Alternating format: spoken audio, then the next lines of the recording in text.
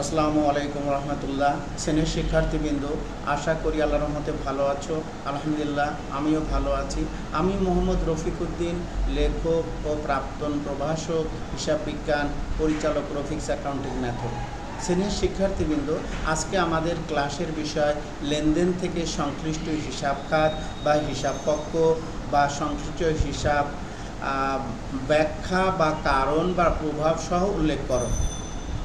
উপরোক্ত লেনদেন থেকে সংশ্লিষ্ট হিসাব খাত বা হিসাব পক্ষ বা ব্যাখ্যা বা কারণ বা প্রভাব সহ উল্লেখ করো। এসএসসি এবং এইচএসসি শ্রেণির জন্য।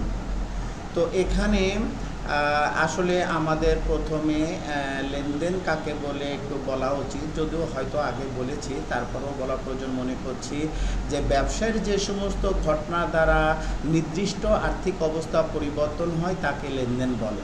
ব্যবসায়ের যে সমস্ত ঘটনা দ্বারা নির্দিষ্ট আর্থিক অবস্থা পরিবর্তন হয়, তাকে লেনদেন বলে। আর্থিক অবস্থারও পরিবর্তন হবে এবং সেটা পরিমাপযোগ্য হতে হবে মানে নির্দিষ্ট হতে হবে। তো শ্রেণির শিক্ষার্থীবৃন্দ এখানে দুইটা উদাহরণ দিয়ে শখ অনুসারে যেভাবে অ্যান্সার করতে হবে সেভাবে দেখানো হয়েছে। আর এখানে উল্লেখ করা প্রয়োজন যে আসলে ইতিপূর্বে উল্লেখ করেছি যে লেনদেন বিশ্লেষণ হচ্ছে হিসাব বিজ্ঞানের বডি ফিটনেস। লেনদেন বিশ্লেষণ হচ্ছে হিসাব বিজ্ঞানের বডি ফিটনেস, যা হিসাব বিজ্ঞানের প্রধান অস্ত্র বা প্রধান প্রধান অস্ত্র, যা দ্বারা ব্যবসায়ী লেনদেন থেকে সংশ্লিষ্ট হিসাব খাত নির্ধারণ করা যায় এবং উক্ত হিসাব খাত দ্বারা আর্থিক অবস্থার ওপর কী প্রভাব পড়ে? তা জানা যায়। তো লেনদেন বিশ্লেষণ ক্লিয়ার হলেই হিসাব বিজ্ঞানের সমস্ত অধ্যায় not only inter not only SSC whole of life of accounting অ্যাকাউন্টিংয়ের সব কিছু নব্বই পার্সেন্ট ক্লিয়ার হয়ে যায়। তো আর জার্নাল এবং হিসাব সমীকরণ নিরানব্বই পার্সেন্ট হয়ে যায়।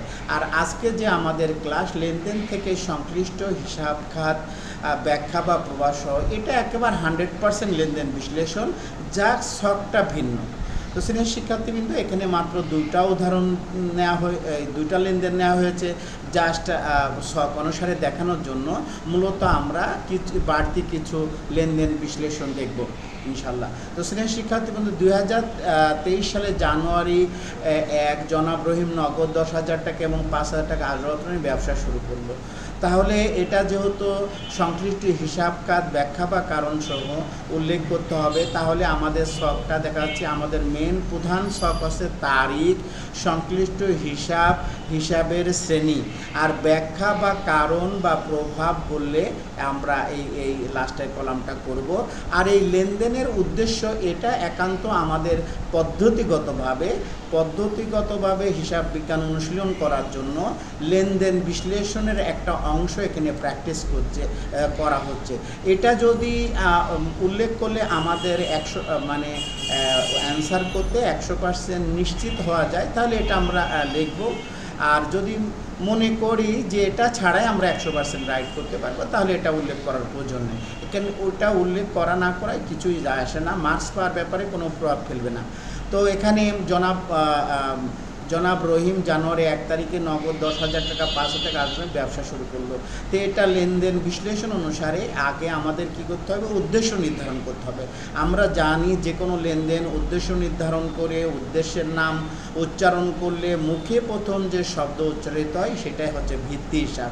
আর ভিত্তি হিসাব কীভাবে পরিবর্তন বা হ্রাস বৃদ্ধি হচ্ছে, এই প্রশ্নের উত্তর হচ্ছে বিপরীত হিসাব। তাহলে এটা হচ্ছে এক, মূলধন বিনিয়োগের জন্য মূলধন কথাটি মুখে উচ্চারণ হচ্ছে মূলধন হচ্ছে ভিত্তি হিসাব। মূলধন হচ্ছে ভিত্তি হিসাব আর মূলধন হিসাবের শ্রেণি হচ্ছে মূলধন মূলধন। এবং এটা মূলধন বৃদ্ধি পাচ্ছে। এটা প্রভাব বা কারণ বা ব্যাখ্যা যেটাই বলি, এটা মূলধন বৃদ্ধি পাচ্ছে। মূলধন বৃদ্ধি পাচ্ছে। কীভাবে বৃদ্ধি পাচ্ছে? নগদে। নগদান হচ্ছে বিপরীত হিসাব নগদান হচ্ছে সম্পদ, নগদান হচ্ছে সম্পদ, নগদ সম্পত্তি বৃদ্ধি পাচ্ছে। তাছাড়া মূলধন আর কীভাবে বৃদ্ধি পাচ্ছে? আসবাবপত্র সম্পত্তির মাধ্যমে আসবাবপত্র আসবাবপত্র সম্পদ আসবাবপত্র সম্পদ বৃদ্ধি পাচ্ছে। তারপরে জানুয়ারি দুই তারিখে কম্পিউটার করে পাঁচ হাজার টাকা, যা তিন হাজার টাকা নগদে। এইটা উদ্দেশ্য নাম্বার তিন, সম্পত্তি করার জন্য সম্পত্তি কথাটি উচ্চারণ হচ্ছে, সম্পত্তির নাম সরঞ্জাম। সম্পত্তির নাম সরঞ্জাম। কম্পিউটার লিখলে হয়, তবে কম্পিউটার না লিখে সরঞ্জাম লেখাই উত্তম অফিস সরঞ্জামও লেখা যেতে পারে। তো সরঞ্জাম হচ্ছে সম্পদ, সরঞ্জাম সম্পদ বৃদ্ধি পাচ্ছে সরঞ্জাম সম্পদ বৃদ্ধি পাচ্ছে। কীভাবে নগদে নগদান হচ্ছে বিপরীত হিসাব, নগদান সম্পদ, নগদ সম্পদ বৃদ্ধি পাচ্ছে সরি নগদ সম্পদ হ্রাস পাচ্ছে। আর আর সরঞ্জাম কীভাবে বৃদ্ধি পাচ্ছে? বাকিতে। বাকিতে আমরা আমরা জানি বাকিতে কোনো কিছু ক্রয় করলে, বাকিতে কোনো কিছু ক্রয় করলে পদি হিসাব দায় বৃদ্ধি পায়। পদি হিসাব দায় বৃদ্ধি পাচ্ছে পদি হিসাব দায় বৃদ্ধি পাচ্ছে।